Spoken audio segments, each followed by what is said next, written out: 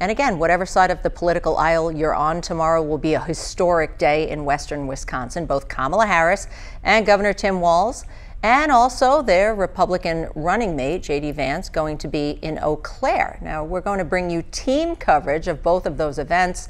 Uh, first, we'll bring you coverage of Harris and Walz' visit from the moment they land at the airport straight through to their rally. And so far, we've told Vance's appearance is not a rally, but we'll be sure to bring you that as well. You can stream it online at WXOW.com.